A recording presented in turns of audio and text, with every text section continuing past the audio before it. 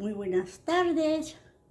Ani les saluda una vez más desde la sala de su casa, tranquila. Primero, ¿cómo están ustedes? Espero que se encuentren bien. Pues quiero mostrarle un pequeño video de estos túnicas que yo tejo Está, está recién terminada. No es un trabajo nuevo para mí, de siempre los he hecho. Solo que no, pues no he hecho videos de ello. Y mire, es grandísima. Déjenme ver si tengo espacio con el permiso, porque tengo una silla detrás. Déjenme moverle a ver si me puedo ir a más larga distancia. Mire, me va a tapar la cara, pero quiero que lo vean completo. Y estas son las puntas, si lo agarro de punta y punta, pues ya no, vaya, no va a caber en la cámara, miren. Está tejido con un hilo de poliéster, hilo muy bueno. Y todo está tejido a base de piñitas. Mire, mire. ¿Ve que son piñitas? Se empieza con una piñita. Esta es la esquina. Una de las esquinas termina en una media piña con puntos de pavo real. Mire qué bonitas. Mire qué bonitos. Usted lo puede hacer al tamaño que usted desee. Perdón, si es para una niña, estamos aquí casi en vivo, si es para una niña, pues ya usted le mide su contorno de, hombro a hombro. Y si es para mujeres, así como ya nosotras, pues esta es la otra esquina. La orilla está elaborada desde principio a fin con punto abanico de punto, dos cadenas, dos puntos. Míralos ahí, punto, dos cadenas, dos puntos. Y, miren, mira qué largo es. Y está empezado desde acá abajo. Por aquí yo empecé. Déjenme ver si lo puedo mostrar de otra forma. Porque es que grande. Mire. Yo empecé de aquí. Y lo empecé, ay padre, haciendo un círculo. Ustedes ven que hay un huequito por aquí. Ese es el círculo redondito. Haciendo el círculo. Cierro círculo, tres cadenetas. Un punto alto. Las tres cadenetas sirven como punto alto. Dos cadenas en el mismo lugar. Dos puntos altos, dos cadenas dos puntos altos hasta que tengo 4, 2, 2, 4, 6, 6 puntos altos y así pues sigo levantando la piñita, mira la piñita ahí. Quedan bien bonito. Este, vamos a ver, no sé cómo habrá quedado porque me estaba mirando bien. Pero, agarro de lado a lado y uno pues se los, se los suelta las espaldas. Mire, cuando hace un poquito de frío o cuando uno va a la iglesia. Le puede doblar la orilla y formar un cuello. Mire cómo queda.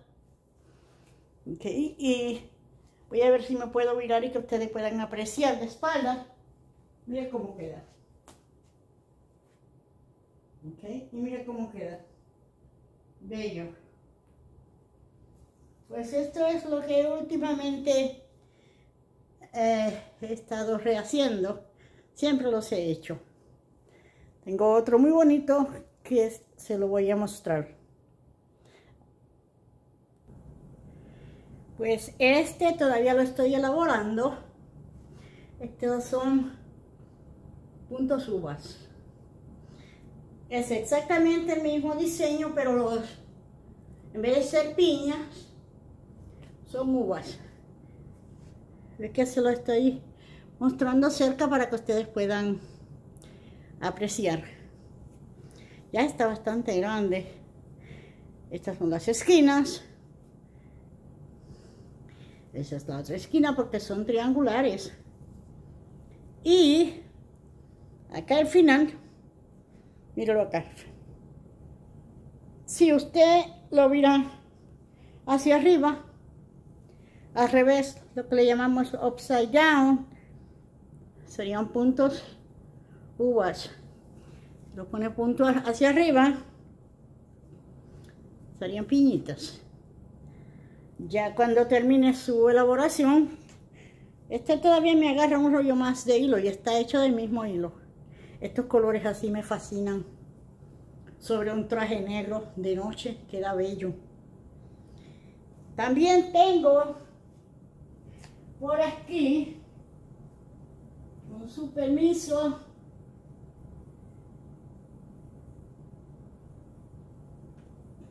wow, un de café a esta hora, tiene rico. Estos trajecitos, mire, este es para una bebé, se puede usar de tres meses en adelante.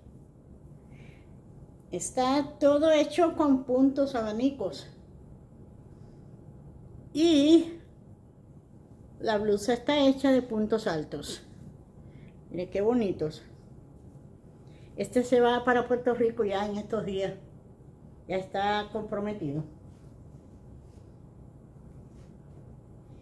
Traigo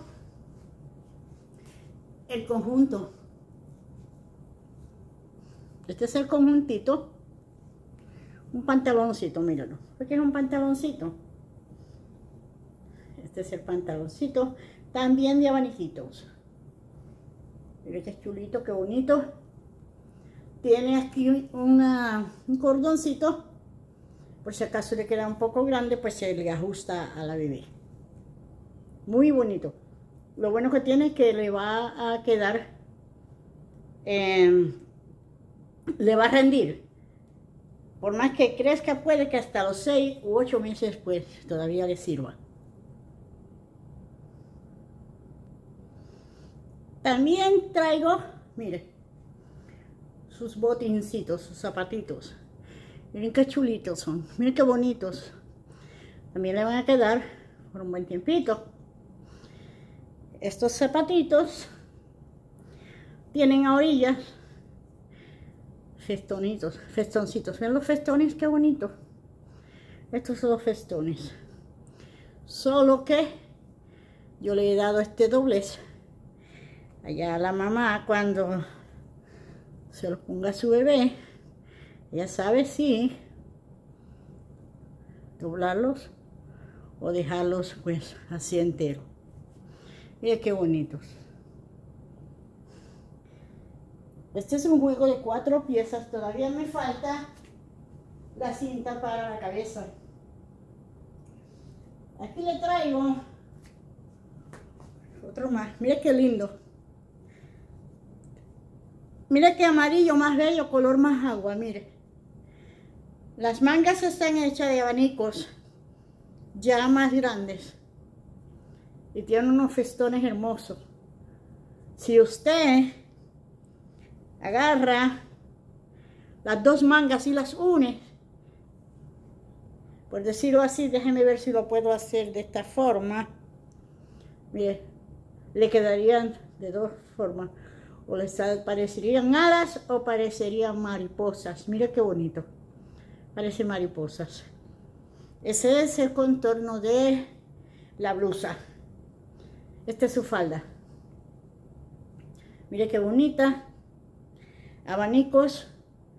Empieza con, al principio, con dos, ah, un punto alto, dos cadenas, ya hasta el segundo, ah, dos puntos altos, dos cadenas y así sucesivamente hasta que termina con cuatro puntos altos, dos cadenas, cuatro puntos altos y para el final tiene ocho puntos altos en forma, míralos, de abanicos. aquí va esa tirita que usted le ve en el medio es en relieve. Relieve quiere decir que está hecho por encima del tejido. Me he, metido la aguja de tejer por detrás del hilo que viene bajando. Pues este ha sido todo por hoy. Estos son mis tejidos y muchos que ya he enviado. Eso es para una niñita como de tres meses, de, de cero a tres meses. Hace poco envié unos azules a Puerto Rico para un bebé. Por aquí también tengo el mismo calzoncito del rojito que mostré. Miren qué bonito. Esto tiene unos puntos diferentes. Este es punto elástico. Tiene un punto elástico. Porque que usted no lo cree, usted haga esto y se estira. Depende del punto que uno haga y queda punto elástico. Para hacer faldas para nosotras mayores está perfecto porque hace un punto elástico más ancho que vendrían siendo como 10 puntos, 10, como 10 puntos al cruzar y tendría que mostrar el tejido. Y yo le garantizo que quedaría una falda bella. Pues estos son mis tejidos. Por aquí tengo algo también, antes de irme me había ido ya, pero regreso, mire. Este es un paño que yo tejí hace oh, como dos años. Mire qué bonito, es para una mesa redonda. Y aunque no cubre la mesa completa, yo lo quise así. Mire qué bello. Es de mi mesa redonda, porque mi mesa de comedor pues es redonda. Quedó hermoso. Y aunque usted no crea, esto es una sola hebra de hilo. No hay que cortar para hacer esto, no hay que cortar para tejer paños como este. Usted empieza por el centro con su círculo de seis cadenetas y por ahí se va dejando ir. Y si se le acaba el primer uh, bundle de hilo, pues agarre el otro y añádaselo bien asegurado y sigue por ahí tejiendo. No tiene que estar cortando y regresando, etcétera, etcétera.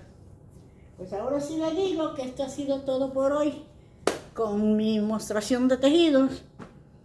Ah, así me entretengo yo en mi casa. Si no es cocinando, es tejiendo y es haciendo mis quehaceres. Bueno, pues una vez más, Dios le bendiga.